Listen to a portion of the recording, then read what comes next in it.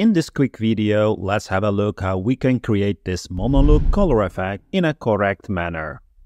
As we want to recolor this image with blue, let's start by adding a fill layer from the layer menu.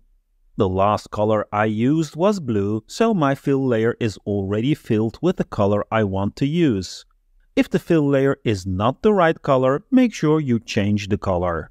Let's see what happens when we change the blend mode of our blue fill layer to color, which hopefully will result in the effect we are looking for.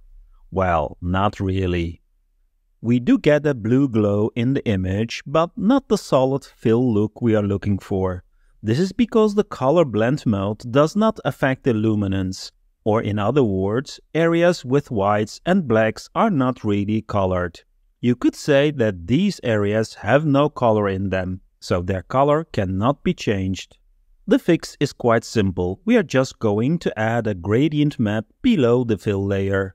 With the gradient map, we can modify the luminance values so that the color can be applied more strongly.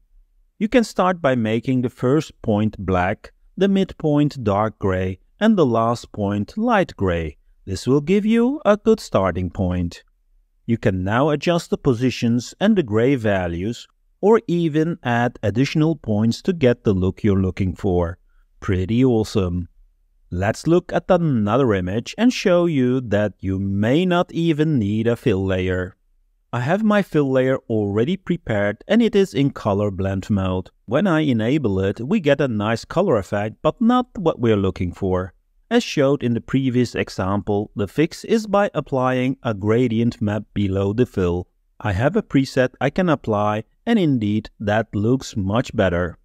But actually, we can skip the fill layer and use a gradient map adjustment only. Let me remove the top two layers and add a gradient map adjustment. I can now set the colors as needed. If I apply a very dark purple to start, a slight lighter dark purple and a mid purple, we get the look we are after. As just before, we can fine-tune the gradient to our needs by modifying the positions, adding additional points or changing the colors. And there you go. Even though this also works quite well, I prefer the fill method as it will be much easier to change the colors later.